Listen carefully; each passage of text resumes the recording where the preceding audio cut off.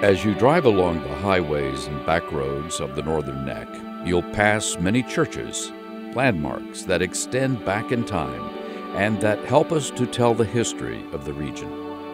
Some churches, even those with more modern buildings, are quite old. In some cases, the buildings themselves are old, having survived wars, fires, and violent weather. The stories told by these churches are the story of the Northern Neck some going back to the 17th century when Virginia was an English colony. They tell the story of generations of families that were born here, lived here, died here. Of all the Northern Neck's institutions, its churches are perhaps its oldest and most enduring. Their history is worth preserving and remembering. Time doesn't permit us to show all, but these are some of the historic churches of Virginia's Northern Neck.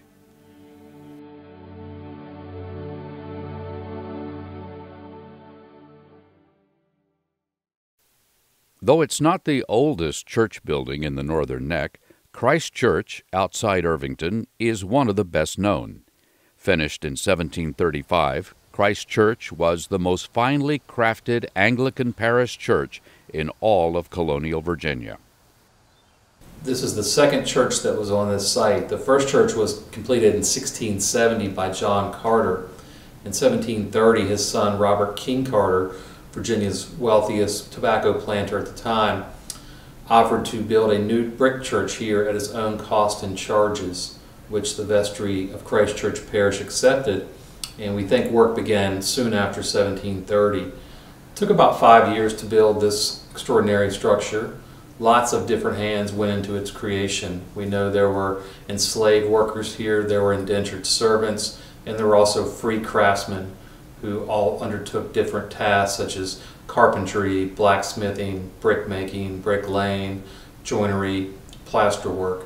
Uh, one of the beauties of the building is it looks just like it did in 1735. So it's really a time capsule when you walk into this building. No longer used regularly as a house of worship, Christ Church remains an active cultural force in the region, drawing thousands of visitors. Christ Church has many stories to tell, and people come here for all kinds of reasons.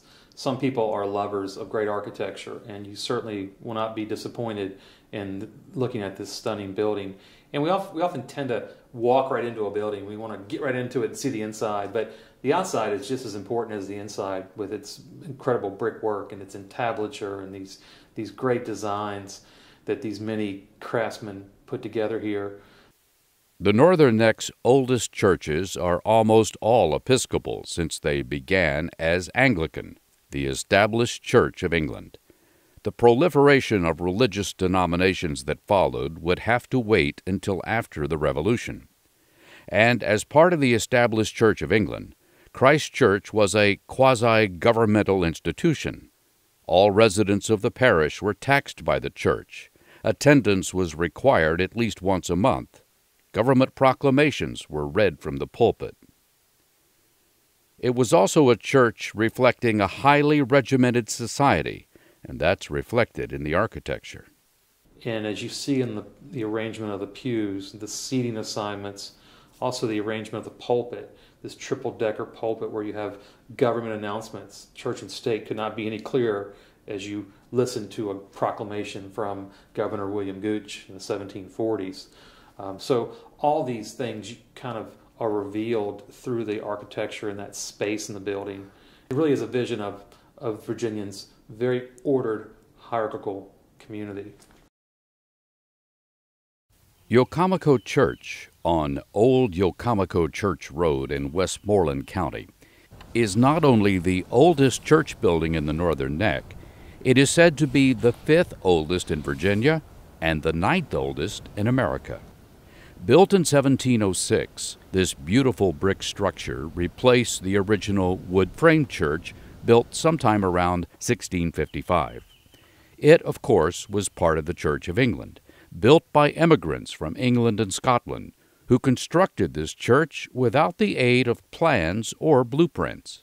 And they built a church based on their memory what a countryside church in Scotland they visualized. And so they built this with, like I say, without any blueprints. And it's interesting that it's a rectangle, but it's not a, it's not an exact rectangle. One wall is longer, wider than another wall. Part of Cople Parish, Yeocomico Church drew worshippers from the surrounding area, including George Washington, who, as an infant, was very likely baptized here. Because his mother's guardian was the warden in 1732 uh, of Cople Parish, it is highly likely that he was baptized using the baptismal font that we still have. After America gained its independence, Yeocomico Church, along with other buildings housing the Church of England, fell into disrepair. It was rescued by a soldier from New Jersey after the War of 1812. Well, fortunately, he fell in love with the girl down the, down the road. And he came back in 1816 and he married her. And he and his father in law spent, at their own expense, from 1816 to about 1830, bringing this church back to life. The church today looks very much as it did in 1865, when it once again became the home of an active Episcopal congregation. The church porch, a medieval feature of English churches, provided a proper place for preliminary blessings performed before entering the sanctuary. The wicket doors date to at least 1706 and are 8 feet tall, 6 feet wide, and weigh 2,000 pounds. Like many of the Northern Neck's ancient churches, the churchyard surrounding the building is mostly devoid of tombstones.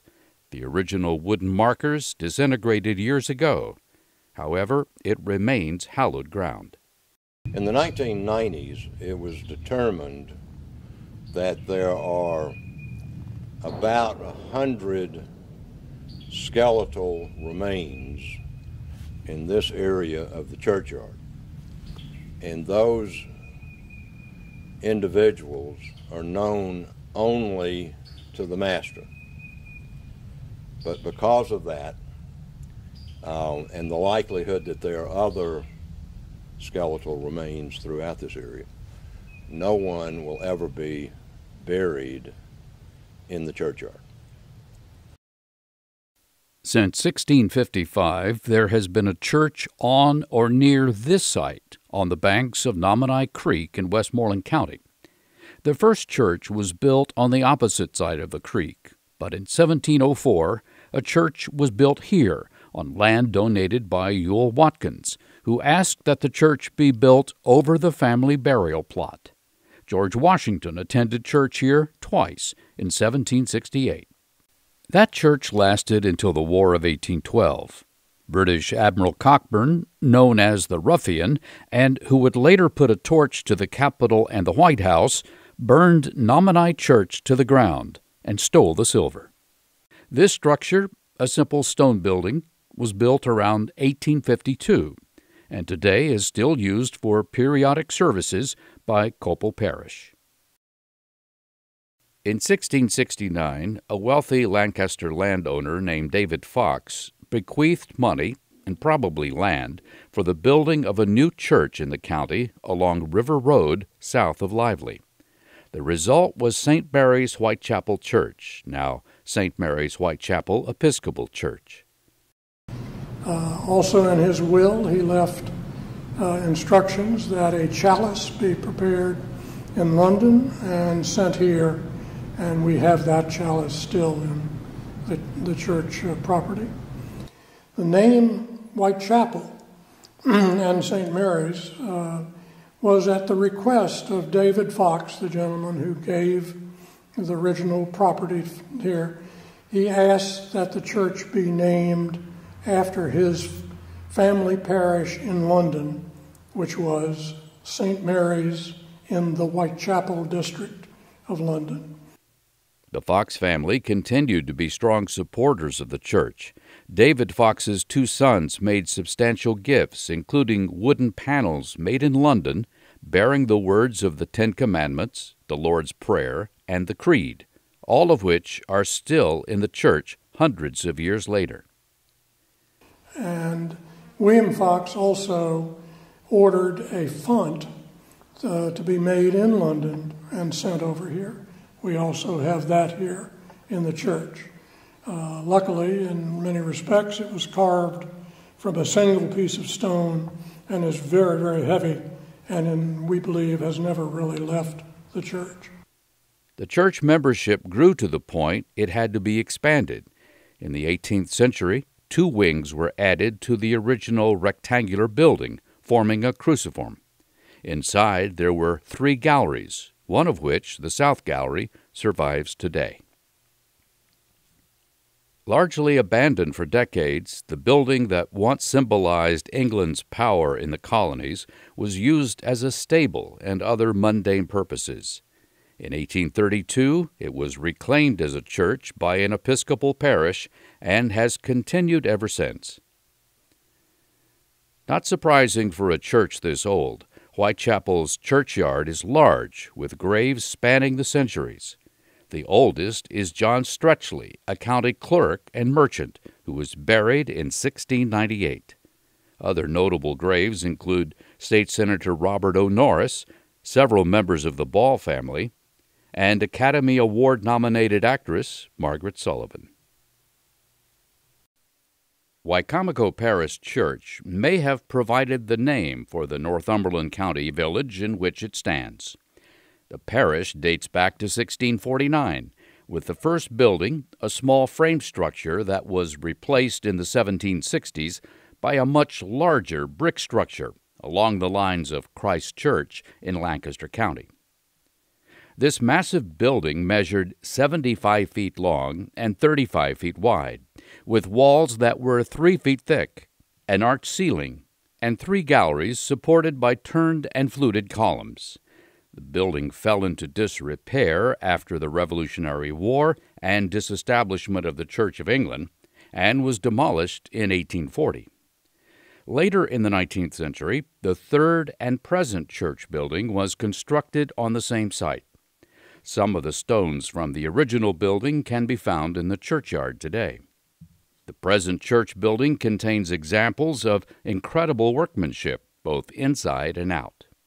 Over the centuries, families that have worshipped here include the Lees, Gaskins, Balls, and Haneys. North Farnham is the parish formed in 1683 when Farnham Parish was divided into North and South Farnham, nine years before Rappahannock County was divided into Richmond and Essex counties. The North Farnham Church was not erected until 1737, however, just off Historyland Highway between Lively and Warsaw. Like most Anglican churches after the Revolution, it was largely abandoned. A skirmish was fought in the churchyard during the War of 1812, when the building was used not as a church, but as a stable for horses. Slowly, the church reemerged as a vibrant force in the 19th century. A serious fire in 1887 nearly destroyed it, leaving only the walls standing. The restoration took decades and was finally finished in 1921. St. Stephen's Episcopal Church is on Northumberland Highway in the village of Heathsville. The building was consecrated in 1881, but its roots go all the way back to the Church of England. St. Stephen's Church is probably in Heathsville is probably one of the older churches in the Northern Neck. It was established by combining two parishes in 1698, I believe, and uh, this this Gothic style, which goes back to the early 1880s, makes it a very distinctive landmark in Heathsville. The church is an example of the Gothic style adapted to a rural parish building in the late 19th century. The wood frame building is a rectangular, one story gabled roof structure covered with board and batten siding. If you've driven through Warsaw, Virginia, you've driven past St. John's Church. The building was erected in 1834, but the church itself goes back to 1732 and replaced the original Anglican Lunenburg Parish lower church that was largely abandoned after the Revolutionary War. St. John's Church exemplifies the rebirth of the Episcopal Church in Virginia under the leadership of the Right Reverend Richard Channing Moore, elected second bishop in 1814. He inspired a new generation of clergy who helped rebuild other parish churches in the Northern Neck that had fallen into disrepair as Americans turned their back on all things British. Among those buried in St. John's Churchyard is 1st District Congressman William Atkinson Jones, who served in Congress from 1891 until his death in 1918. Citizens of the Philippines erected this memorial to Jones, honoring him for authoring the legislation that granted Philippine independence.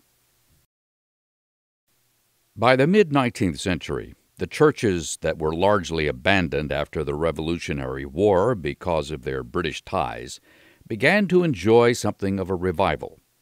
The congregation at Christ Church in Weems moved a few miles north and established a new church in Kilmarnock, Grace Church, later known as Grace Episcopal Church. Grace Episcopal Church was the very first church built in Kilmarnock in 1852 the original chapel still stands, and, and the original building still stands, and it was used as a chapel. The building itself is on the National Register of Historic Places.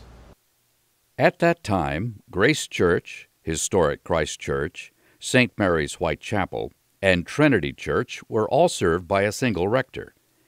Grace Church was eventually given independence and oversight of Historic Christ Church, and the other two congregations were able to call their own rector. Today, Grace Church maintains its ties to historic Christ Church. When the American colonies defeated England and won their independence, it brought about revolutionary change in all aspects of American life. And though it didn't happen immediately, the idea of an established church lost favor with the people. In 1786, Thomas Jefferson wrote the Virginia Statute for Religious Freedom, declaring that all men shall be free to express and by argument to maintain their opinion in matters of religion, thereby taking a sledgehammer to the concept of an established church and paving the way for the First Amendment to the Constitution. The thing to remember, too, is since the fourth century, there had been an established religion since Constantine. So Jefferson's statute, which is a beautiful document, it's incredibly poignant, the writing, but it's also a declaration of natural rights. And it's hard to appreciate just what that meant because he was overthrowing 1,400 years of a church establishment. One of, in Jefferson's notes on the state of Virginia, he said that the legitimate powers of government extend to such acts only as are injurious to others but it does me no injury for my neighbor to say there are 20 gods or no God. It neither picks my pocket nor breaks my leg. That's a radical thought in the 18th century. The disestablishment of the Anglican Church opened the way for other religious denominations whose members had only been barely tolerated during colonial times. Baptists, Methodists, and Presbyterians quickly established churches and attracted large numbers of members. Baptists in the Northern Neck didn't wait for the defeat of England to strike a blow for religious freedom, constituting Morattico Baptist Church in 1778. Known as the Mother Church of Baptist in the region, it would spawn a number of other Baptist churches over its long history. By the mid 19th century, the church membership had grown to nearly 1,000 people, creating the need for a larger building. The present church building outside Kilmarnock, reflecting the architectural style of the time, was built in 1856 using bricks that were made at the site. Colonel Addison Hall served as pastor for 35 years, and his daughter, Henrietta Hall Shuck, holds the distinction of being the first woman missionary to China from the United States.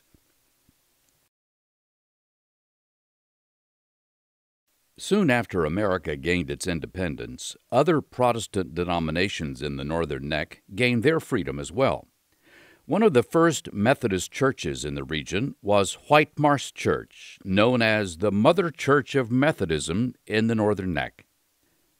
Established in 1792 at the site of Methodist camp meetings, the church attracted an eager congregation right away. George Washington was still the president. It, that, you know, just to put hmm. that into perspective. And they built a building here, not this building. The building that they built in 1792 is gone, and this building was built in 1848. The 1848 building still stands on Mary Ball Highway, just west of Kilmarnock. It thrived throughout the 20th century, but gradually lost members and was closed by the Methodist Church around 2003. It sat empty and unused for about 10 years before a group of people brought it back to life, making it an interdenominational church. We were able to come in, and people were so generous in the community and within the congregation that it took us almost no time. I mean, it seemed like no time at all. We were able to pay cash to have somebody re um, plaster the walls and fix the ceiling. We did it in three stages. We raised enough money to do this part, and then we raised enough money to do that part, mm-hmm. so that we could do it um, debt free because this little congregation couldn't handle having a debt. The present building has stood for more than a century and a half, and today looks very much like it did when it was built serving as an example of the Georgian architectural style that was often used for churches. In Northumberland County near Lottsburg sits another old Baptist church, Cone Baptist, originally known as Wicomico Baptist Church. It goes back to 1804, with the first building, Cone Meeting House, built in 1811. As the church grew in the following years, the members undertook the ambitious project of constructing the present church building, dedicated in 1847. It was constructed in the federal architectural style and built using locally fired bricks, and the stone steps were imported from Baltimore, brought in on a sailing vessel to Barnes Wharf. One of Northumberland County's older Methodist churches sits at the intersection of Brown Store Road and Jesse Ball DuPont Highway in Wicomico Church. Wicomico Church United Methodist Church was founded in 1837 by Cyrus and Betty Harding, who were local farmers and merchants, and who built the first church and provided land for the current one. The present building was completed in 1859 and has a rich history. Um, it's also a pre Civil War church, and soldiers um, were here and they used upstairs as barracks. Uh, we even in the back had um, a hospital where they did surgeries. Um, each Sunday, there was not a Sunday that they did not worship in this church. Visitors to the church can see examples of rural 19th century architecture, since there have been few modifications to the sanctuary over time. Um, the pews and the original floor, um, the walls, you know, not much has been changed. Uh, there's a lot that's still here um, in the church. So. And like many of the older churches in the region, the churchyard bears testament to its longevity and to the family names of generations of members. At the junction of Courthouse Road and Route 610 in Northumberland County lies another of the Northern Neck's historic churches, one in fact that holds a unique place in the county's history. Don't be fooled by the modern structure that sits on this hill. This church's roots go back to the end of the Civil War and the end of slavery. I believe that it was more than just the people who were a part of this church that needed this church in 1866. I believe that this church was birthed out of the divine intervening uh, nature of God, that black people and white people could come together around the whole essence of what it is that we believe that God needs in our community. The present church building is only the third structure in this church's 154 year history. Remarkably, the first building still stands across the road from the present church and remains a powerful link to the past. After holding initial services in a private home, First Baptist Church of Heathsville held services in a school built by Emily Howland of New York, who provided educational opportunities for local children, most of whom were part of families who belonged to the church. Many of Emily Howland's students later became teachers themselves, and some of their families are members of the church today. My great grandmother was educated by Emily Howland, who built the school. But I did not know that as a child growing up. I learned that in later years. She was a teacher, my aunt was, a, her sister was a teacher, my great grandmother was a teacher, and they all taught at one time or the other at Howland School. A permanent church building was constructed on the site of the present church in 1892. First Baptist Church used that building until 1941, when members erected the present building. Church member Helen Burnett, 102 years old at the time of this interview, remembers when the present building was constructed. She's wearing a mask because the interview took place during the COVID 19 pandemic. I seen this church built. My father had a hand in helping to build this brick church which they started off with a wood church. But somewhere along the line, before they made a decision, they decided we want a brick church. The building required generous donations from local church members, as well as from members who had left the area and moved to urban areas, becoming very effective fundraisers a lot of us left and went left here and went to Baltimore and different cities. And the pastor came and asked us if we would continue to support the church. And that's what we did. In Baltimore, we had a club. We had one in Washington. Everybody we could grab, we didn't care if they ever seen this church, but we would bring them down here and they were carried away. They loved it. The end of the Civil War quickly led to the founding of a number of churches by African Americans as the newly freed population wanted churches of their own where they could enjoy the same religious freedom other Americans enjoyed. The original Old St. John's Baptist Church is believed to be the oldest African American Baptist church in Lancaster County. In 1873, the, some of the members of the congregation of that church, along with congregation members of other churches, decide to build a new church at Mount Olive. The congregation in Mount Olive, by the way, is just outside of Wicomico Church. Before the people built a building, they actually were so eager to have a service. Their very first service was held outside under a brush arbor. Old St. John's Baptist Church was located here, just off Harris Road between Kilmarnock and Whitestone. Beulah Baptist Church also was established soon after the Civil War in 1868. The original building still stands on Mary Ball Highway near Lively.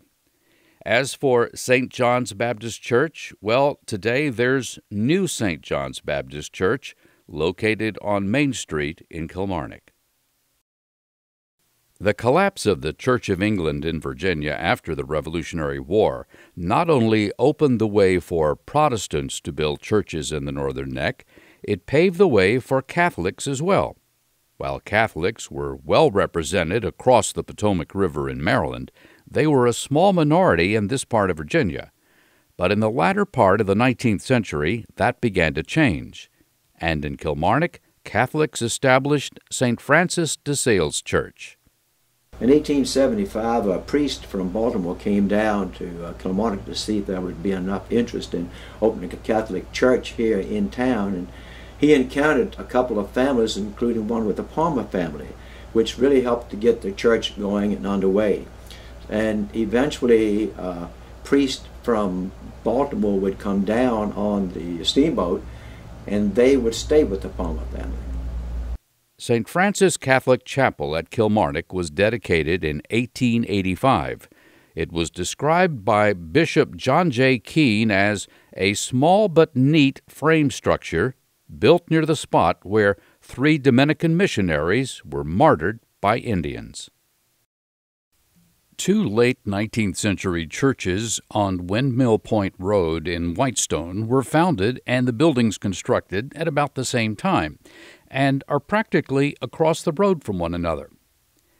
Maple Grove Baptist Church was formed, as most Baptist churches in the region were, as an outgrowth of Morattico Baptist Church and later Whitestone Baptist Church. The early history of the Maple Grove Church is a bit sketchy since there are few known records of those early years. The same is true for Asbury United Methodist Church just down the street with the building typical of late 19th century church architecture. In a somewhat unusual move, the congregations of the two churches today often hold joint services. Wesley Evangelical Presbyterian Church in Weems is located a stone's throw from historic Christ Church, another example of religious freedom that might not have been tolerated when Virginia was a colony bringing us full circle in our tour of historic churches. Wesley isn't as old as the other churches we've visited, but it's included because it is celebrating its centennial year in 2021. It is a community church in the truest sense, still with deep ties to its founding and the cultural history of the community. Um, as I mentioned, my roots are deep. My great grandfather, Richard Rose, was part of building this church. He was a boat builder and he lived just a mile um, from here. And if you look around the church, it is built similar to that of a boat. Um, that's the only way they knew how to build. His house is the same way. He built his house and it's built um, the same as you would build a boat. Um, and with that being said, it's built, built very strong and it's lasted for almost 100 years. As Pastor Bill mentioned, yes, the, the wood was actually brought down from, I believe, uh, Sharps and farther up, and it was brought to a landing at the end of the road and uh, brought on a horse and cart. Uh, the history tells us that it was the younger boys, young boys, which of course would be, many of them would be gone now, uh, actually walked from the landing with the on you know boards and things on their shoulders. And like many communities, the people not only built their own church, they raised the funds necessary to build it. Church records show that Wesley Presbyterian cost less than $300. From colonial times, through the Revolution, through the Civil War, through good times and bad. The churches of the Northern Neck have persevered. Their legacy has sustained generation after generation. Regardless of your religious affiliation, or whether you have an affiliation at all, residents of the Northern Neck should take pride in the churches that have taken root in Northern Neck soil and flourished, sustaining the values that have enhanced a quality of life for centuries and will continue to do so far into the future.